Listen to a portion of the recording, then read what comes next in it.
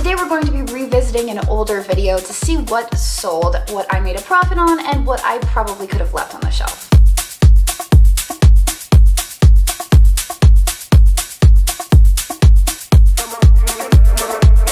All right, well today we are at the Goodwill and we are here with Dagny.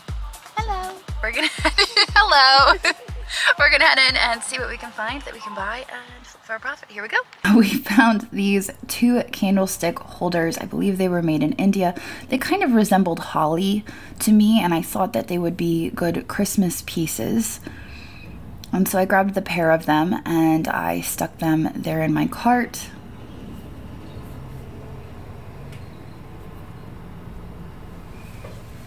This looked to be Yankee Candle, and when I looked at the bottom, sure enough, it said Yankee 2012. And it looked to be in good condition. I didn't see much damage. There, um, the only thing I saw was a little discoloration on the snowman's belly, but I figured that could be remedied. It was probably caused by the candle being lit. It might be some soot from the candle.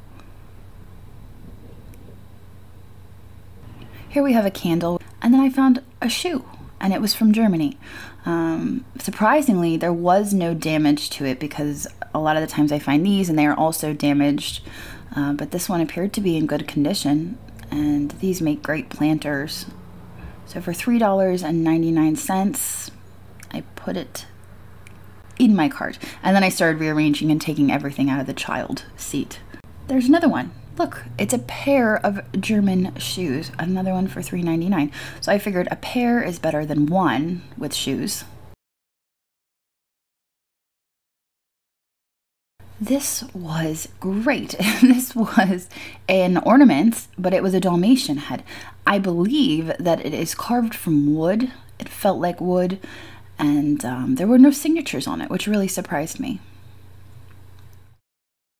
This was a nice little art pottery piece. It was $1.99. I believe there was a signature on the bottom, but I really liked the color. It was almost a celadon glaze, and it had those little denim blue dots on it. I thought the glaze on this bowl was nice. It had kind of a drip glaze.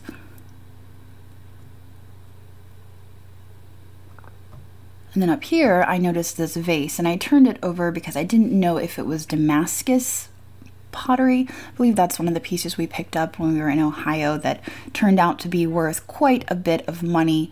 Uh, this one, however, is, um, I believe, from Dalton, Pennsylvania, and I've picked that up from time to time.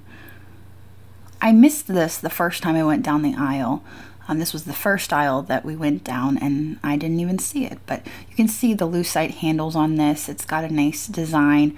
I thought it would be a great vanity piece, so I stuck this in my cart. Even though it was a little large to ship, I made an exception for this one for $2.99.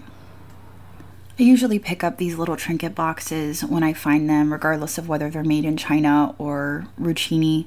Uh, this, the made in China versions I can usually sell between 15 and $25 and this was a great Christmas piece. A lot of people like to gift them with jewelry inside.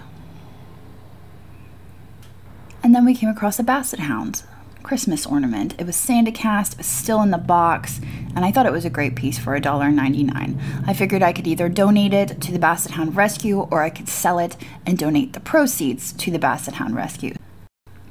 Found a melamine set here.